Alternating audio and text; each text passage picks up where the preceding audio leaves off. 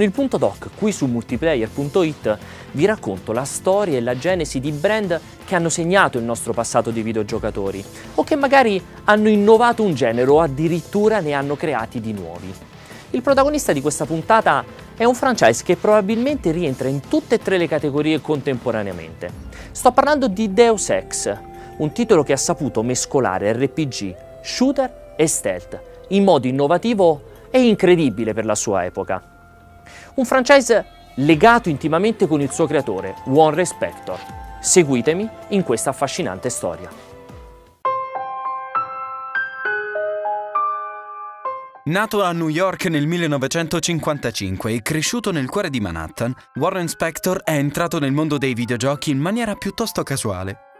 Fin dall'età di 13 anni desiderava infatti diventare un critico cinematografico e nei primi anni 80 la sua passione lo aveva portato ad ottenere un incarico come insegnante di cinema all'Università di Austin, in Texas. Ma nel 1983 le sue lezioni vennero cancellate e per pagare le bollette Spector si ritrovò a lavorare per Steve Jackson Games come redattore di una rivista dedicata ai giochi da tavolo, un altro dei suoi hobby giovanili. Da lì ai primi videogiochi di ruolo il passo fu breve. Nel 1989 Spector venne assunto da Origin Systems, la società che aveva dato vita ad una delle più famose serie di giochi di ruolo dell'epoca, Ultima. Dopo aver partecipato alla produzione di Ultima 6 The False Prophet e del simulatore spaziale Wing Commander, nel 1990 Warren iniziò a supervisionare Ultima Underworld The Stygian Abyss, uno spin-off realizzato da Blue Sky Productions, il team creato dal designer Paul Neurath. Con la sua innovativa visuale in prima persona posta all'interno di un mondo in tre dimensioni, il gioco riuscì a piazzare mezzo milione di copie nel suo primo anno di vendita. Visto che Underworld guadagnava popolarità mese dopo mese, un seguito fu inevitabile e Ultima Underworld 2 Labyrinth of Worlds venne pubblicato già nel gennaio del 1993, ad appena un anno di distanza dal suo predecessore. Nel frattempo, la collaborazione con Blue Sky e il team di Neurath, diventato Looking Glass Technologies dopo la fusione con Learn Research, si faceva sempre più fruttuosa e prolifica.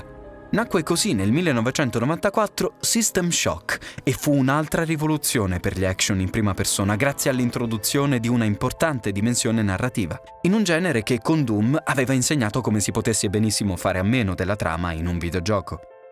Nonostante gli apprezzamenti di critica e pubblico, però, le vendite non furono sufficienti a coprire le spese produttive e la situazione finanziaria di Looking Glass cominciò a farsi ogni giorno sempre più difficile.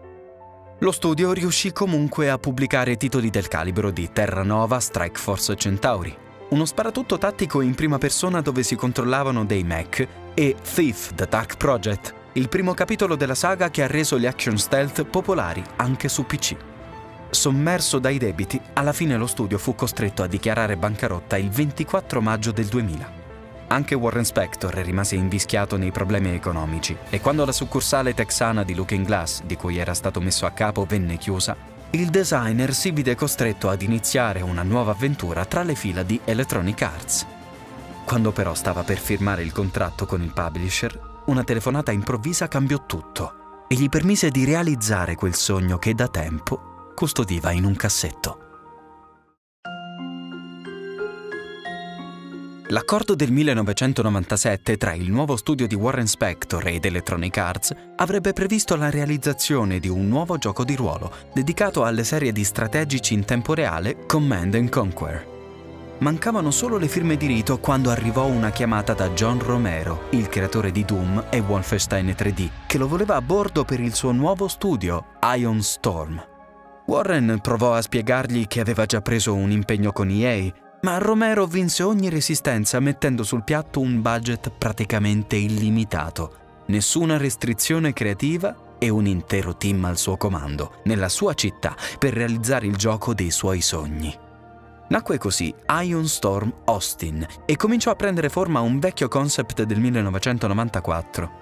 Dopo l'uscita di Ultima Underworld 2, Warren Spector aveva infatti sottoposto ad Origin il progetto Troubleshooter, un gioco d'azione in prima persona simile ad Underworld, ma ambientato nel mondo reale. Il titolo sarebbe dovuto essere un blockbuster capace di competere con i classici film d'azione come Die Hard, Passenger 57 Terrore ad alta quota e Trappola in alto mare.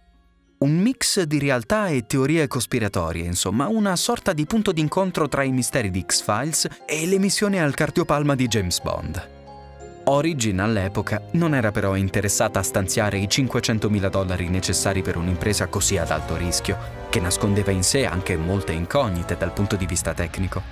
Spector non si arrese e tornò alla carica durante il suo periodo in Looking Glass, ma alla fine il progetto rinominato Junction Point venne cancellato per mancanza di fondi. Il nome sarebbe stato riutilizzato in seguito da Spector quando nel 2005 lasciò Ion Storm per fondare un nuovo studio, Junction Point, appunto. Nonostante i fallimenti precedenti, nel settembre 1997 il gioco dei sogni di Warren Spector era tornato alla ribalta e grazie a Romero poteva finalmente essere realizzato. Iniziò così l'era di Shooter Majestic Revelation, titolo provvisorio di quello che poi sarebbe diventato Deus Ex.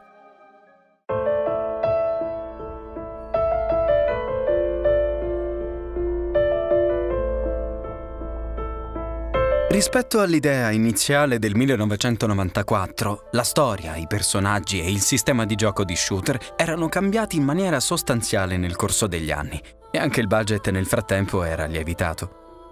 A livello concettuale però Deus Ex manteneva alcuni elementi cardine. Su tutti spiccavano un sistema di scelte morali capace di indirizzare l'esperienza del giocatore e una commistione di generi mai vista prima, con elementi presi dai giochi di ruolo, dagli sparatutto e dai titoli stealth. Deus Ex era sulla carta l'unico gioco capace di dare al giocatore la libertà di mettere in pratica numerosi approcci senza soluzione di continuità. Anche la narrazione era molto curata per offrire un mondo di gioco credibile indipendentemente dalle scelte del giocatore, a cui veniva data anche la possibilità di esplorare numerose storie secondarie del tutto opzionali. A causa delle limitazioni imposte dal mondo reale, ben presto il team decise di ambientare Deus Ex nel 2052, in un futuro dove le teorie cospiratorie sull'Area 51 o l'assassinio di Kennedy si sarebbero rivelate reali e le corporazioni avrebbero ottenuto un potere maggiore dei governi stessi. Una coincidenza bizzarra fu che anche in questa realtà alternativa lo skyline di New York finì per essere privato delle torri gemelle. Il motivo della scelta fu ovviamente tecnico e da ricercare in limitazioni nell'uso delle texture, ma la trama spiegò questa assenza proprio come il risultato di un attentato terroristico, un anno prima della tragedia dell'11 settembre.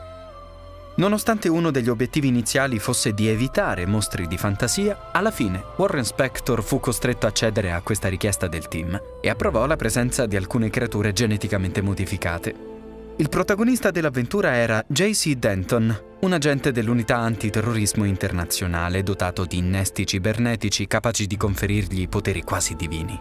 Gli sviluppatori decisero di renderlo anche un eroe neutrale dal punto di vista emotivo, tanto che al doppiatore J. Anthony Frankie fu chiesto di interpretarlo con voce atona, per evitare ogni possibile influenza sulle scelte del giocatore. Il suo nome derivava da un'idea valutata nelle fasi iniziali dello sviluppo, quando il team pensò di rendere Denton un diretto discendente di Gesù Cristo, Jesus Christ in inglese, e da qui JC. L'acronimo doveva servire anche per rendere il suo nome unisex, visto che nelle prime fasi dello sviluppo era possibile scegliere il sesso del protagonista, opzione poi rimossa nel tentativo di arginare l'allungamento dei lavori, ci vollero ben nove mesi perché il team prendesse confidenza con il motore di gioco, la Real Engine, e man mano che si andava avanti alcuni livelli si rivelavano impossibili da creare a causa di limitazioni tecnologiche o per la presenza di elementi di design troppo complessi. È il caso per esempio di una grossa sezione della Casa Bianca, che avrebbe richiesto sforzi produttivi eccessivi a discapito della complessità narrativa. Durante la fase alfa, il sistema di abilità e innesti cibernetici fu completamente rivisto su indicazione di un tester d'eccezione, Gabe Newell. Il fondatore di Valve e Steam fu infatti tra coloro che provarono i primi prototipi delle missioni nel maggio del 1999. Dopo quasi tre anni di lavoro che impiegò a tempo pieno un team di 20 persone, Deus Ex arrivò finalmente sugli scaffali il 23 giugno 2000 a più di un anno di distanza dalla data di uscita prevista. Carry on, agent.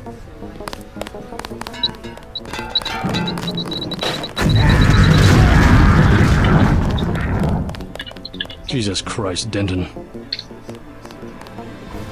Il ritardo nell'uscita del gioco non fu dovuto soltanto a una previsione errata fin dal principio, ma anche e soprattutto a un grave errore di valutazione di Warren Spector che perse moltissimi mesi di sviluppo dividendo in due parti il suo team, mettendolo in competizione tra loro.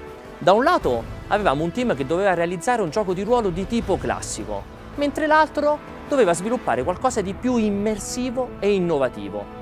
Purtroppo però ben presto la tensione tra i due divenne insostenibile e Spector fu costretto a perdere un lead designer e a riunire tutti in un'unica squadra, con il risultato positivo di avere una direzione decisamente più omogenea.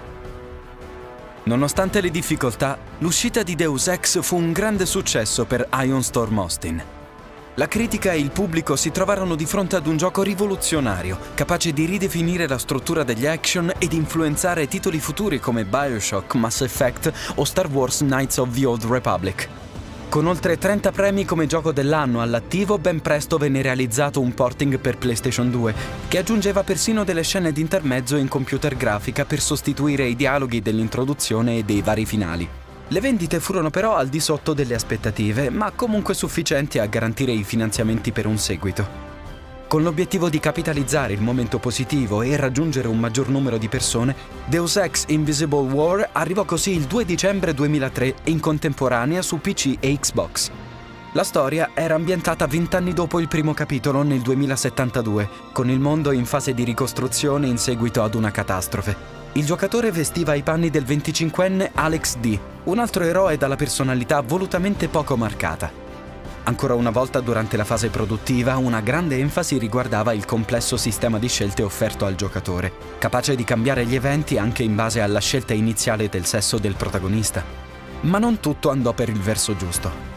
Lo sviluppo multipiattaforma causò numerose difficoltà tecnologiche e portò i ragazzi di Ion Storm a trascurare la versione PC in favore di quella Xbox, con una conseguente riduzione della grandezza dei livelli e della durata del gioco. Inoltre ancora una volta si vennero a creare tensioni a causa della competitività di qualche membro del team che sfociarono in alcune pessime scelte di design. Il sistema di abilità innesti, per esempio, venne semplificato troppo in nome dell'accessibilità e la nuova ambientazione così tanto futuristica fece perdere a Invisible War qualsiasi contatto con il presente. L'accoglienza di critica e pubblico non fu però completamente negativa e il team iniziò subito a progettare un terzo capitolo convinto di potersi riscattare. I progetti per Deus Ex 3 però naufragarono per ben tre volte. Il primo tentativo fu portato avanti da un ex dipendente di Valve, Art Min. Insieme a Warren Spector, Min aveva messo in piedi nel 2003 un team di 20 persone per lavorare su Deus Ex Insurrection, una sorta di prequel con protagonista il padre di JC Denton e ambientato nel 2032. Ma il progetto fu accantonato l'anno successivo, quando Spector lasciò Ion Storm Austin per perseguire la realizzazione di Epic Mickey con il publishing e il supporto di Disney. Nel frattempo anche Crystal Dynamics aveva iniziato a lavorare a un nuovo Deus Ex completamente focalizzato sul multiplayer. Tuttavia, all'E3 del 2004 il poco interesse verso Invisible War convinse Eidos a slegare il nuovo progetto dall'universo di Deus Ex e a dotarlo di un'ambientazione originale. Così quello che doveva essere Deus Ex Clan Wars arrivò nei negozi il 23 febbraio 2005 con il titolo di Project Snowblind. Ion Storm Austin intanto aveva terminato lo sviluppo di Thief Deadly Shadows, il terzo episodio delle avventure del ladro Garrett. Il team provò un'ultima volta a dare vita a Deus Ex 3, con l'idea di realizzare un nuovo rivoluzionario capitolo open world ma nel 2005 Eidos decise di chiudere la software house per arginare i suoi problemi finanziari e il progetto finì nel dimenticatoio. Per molti anni il futuro di Deus Ex fu avvolto nell'incertezza. Tra i fan, tuttavia, c'era ancora chi sperava in un nuovo capitolo. E quando nel 2007 Eidos Interactive annunciò l'apertura di un nuovo studio in Canada, Eidos Montreal, quelle speranze sembrarono concretizzarsi. Il misterioso progetto del nuovo team rimase però avvolto nel mistero per nove mesi. Fino alla conferenza stampa del novembre di quell'anno, che arrivò a fugare ogni dubbio. Deus Ex 3 era davvero in sviluppo. L'annuncio fu accompagnato da un teaser trailer piuttosto particolare che mostrava un feto geneticamente modificato e un susseguirsi di immagini studiate per suscitare l'interesse dei fan. Le analisi fotogramma per fotogramma non si fecero attendere e il particolare nome del feto, Émile, generò numerose teorie che coinvolsero persino il sociologo francese Émile Durkheim, che nel XIX secolo aveva coniato l'espressione coscienza collettiva. A molti sembrò un chiaro rimando agli Omar del precedente capitolo. In realtà il video era stato realizzato in fretta e furia e commissionato allo studio grafico Digital Dimensions, che aveva semplicemente deciso di dare un nome a quel bambino. Per la rinascita del marchio, il team passò i primi mesi a giocare e rigiocare il capitolo originale per analizzare i motivi del suo successo. È per questo che Deus Ex Human Revolution fonda gran parte del suo gameplay sulla libertà di scelta e su quella commistione di generi che aveva fatto amare il primo episodio. Venne ripresa l'idea di un prequel per non limitare l'interesse dei nuovi giocatori e per questo la storia fu ambientata nel 2027 il nuovo Deus Ex si pose anche l'obiettivo di ritrovare il contatto con la realtà moderna. I ragazzi di Eidos Montreal si consultarono quindi con un esperto in impianti neuronali, Will Rosellini, allora amministratore delegato di Microtransponder e grande fan del primo Deus Ex. All'interno del gioco furono inseriti anche alcuni riferimenti a numerose pellicole di successo, una conversazione nel distretto di polizia di Detroit sui vecchi film di fantascienza degli anni Ottanta, per esempio, è un richiamo a Robocop, mentre uno dei computer dello stesso distretto appartiene a H. Ellison, un chiaro richiamo a Harlan Ellison, lo scrittore della storia su cui si basa il film Terminator di James Cameron. Per il nuovo protagonista Adam Jensen venne studiata una personalità più definita rispetto a quella dei suoi predecessori. Per questo l'interpretazione del doppiatore Elias Tufexis fu molto più emotiva di quelle viste in passato. Al giocatore rimaneva comunque un ruolo importante nel definire l'etica di questo ex membro della SWAT caduto in disgrazia. Il suo nome era poi un richiamo al primo uomo della Genesi, Adamo, un elemento che è stato spesso messo in relazione con l'originale idea della discendenza di J.C. Denton da Gesù, per giustificare le teorie su una loro presunta parentela genetica, tuttora non confermata. Le ambizioni del team di sviluppo erano altissime.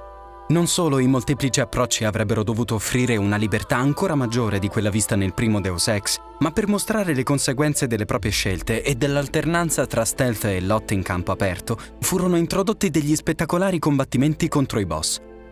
Purtroppo la creazione di questi scontri iniziò troppo tardi rispetto alla tabella di marcia e una parte finì per essere affidata ad una compagnia esterna. Come se ciò non bastasse, anche l'intelligenza artificiale venne modificata all'ultimo momento. Il risultato fu così al di sotto delle aspettative e quello che sarebbe dovuto essere il fiore all'occhiello della produzione finì per diventare l'aspetto più frustrante e contestato. Nonostante tutto però, Deus Ex Human Revolution arrivò sugli scaffali nell'agosto del 2011 e fu accolto positivamente da critica e pubblico, tanto da vendere oltre 2 milioni di copie nei primi tre mesi.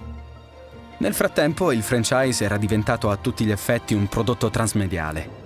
L'uscita del terzo capitolo venne accompagnata da una serie di fumetti omonima per espandere la storia di Human Revolution e da Deus Ex Icarus Effect, un romanzo ambientato poco prima del gioco. Nel 2013 l'edizione Director's Cut venne accompagnata da Deus Ex Fallen Angel, una breve storia in formato digitale su un personaggio secondario del gioco, Farida Malik, nello stesso anno arrivò anche uno spin-off per dispositivi mobile, Deus Ex The Fall, sviluppato in collaborazione con M-Fusion e in seguito portato su PC. Un adattamento cinematografico a cura della casa di produzione CBS Films è stato infine annunciato nel 2012 con il titolo Deus Ex Human Defiance, ma al momento si sono perse le tracce della pellicola. Se si esclude ovviamente un simpatico pesce d'aprile di Eidos, che nel 2013 ha fatto credere a tutti che Human Defiance sarebbe stato un nuovo capitolo a 8 bit di Deus Ex. L'universo di Deus Ex è però tuttora in continua espansione. Nell'aprile del 2015 è stato infatti annunciato Deus Ex Mankind Divided, un nuovo capitolo ambientato due anni dopo i fatti di Human Revolution e con lo stesso protagonista, Adam Jensen. Sviluppato da Eidos Montreal a partire dal 2011, Mankind Divided era originariamente previsto per il febbraio del 2016, ma pochi mesi dopo l'annuncio ufficiale il team si è visto costretto a spostare l'uscita al 23 agosto 2016. Non è mancata neppure qualche polemica, scatenata dall'iniziativa Augment Your Pre-Order, Square Enix aveva infatti studiato un sistema di bonus progressivi per le prenotazioni che costringeva i giocatori a scegliere solo tra determinate ricompense che si sbloccavano all'aumentare del numero complessivo dei preordini. In seguito alle tante lamentele ricevute, il programma è stato chiuso e tutti i bonus sono stati inclusi in un'unica edizione speciale. A partire da febbraio, intanto, è stata pubblicata una seconda serie di fumetti ispirata al gioco, Deus Ex Universe Children's Crusade. Per un altro romanzo inedito, Deus Ex Blacklight, e per il nuovo spin-off per i dispositivi mobile Deus Ex Go, i fan hanno invece dovuto aspettare fino all'uscita del sequel sul mercato. Mankind Divided non ha purtroppo raggiunto lo stesso successo di Human Revolution, nonostante sia più complesso, più rifinito e probabilmente anche meglio narrato, per una grossa fetta del pubblico e della critica manca di quella spinta innovativa che aveva stupito tutti all'uscita del remake. Sono però convinto che Eidos Montreal sia ben lontana dall'aver gettato la spugna e probabilmente tra qualche anno sarà pronta di nuovo a mostrarci il suo futuro distopico e complesso, che Adam Jensen o qualcuno al posto suo dovrà districare e risolvere.